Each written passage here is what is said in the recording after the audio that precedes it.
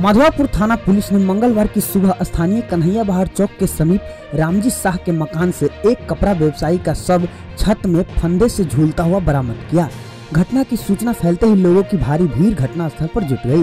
Police ने मृतक कपड़ा व्यवसायी की पहचान सीतामढ़ी शहर निवासी भरत गुप्ता का 36 वर्षीय पुत्र विष्णु गुप्ता के रूप में की है। मृतक रामजी शाह के मकान में दूसरी मंजिल पर किराए के घर में रहता था और मधुआपुर पेठिया गाछी बाज़ार स्थित वैद्यनाथ मिश्र के मकान में कपड़े का दुकान चला रहा था। मृतक के बड़े भाई पवन गुप्ता ने पुलिस को पारिवारिक कलह से तंग आकर आत्महत्या करने की बात कही है।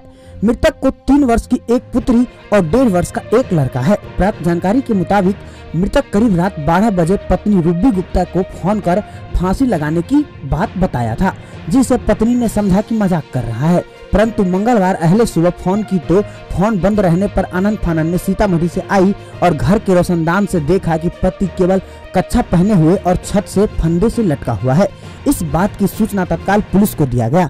इधर मृतक के स्वजनों के अनुरोध पर पुलिस ने सरपंच बलराम कुमार झा, कांग्रेस नेता नीलम्बर मिश्र, शिव कुमार शाह एवं स्वजनों की उपस्थिति में पंचनामा बनाकर मृतक का सब उनके परिजनों को अंतिम संस्कार के लिए सौंप दिया। इधर घटना पर मधुपुर के व्यवसायी और जनप्रतिनिधियों में गहरा दुख प्रकट किया है।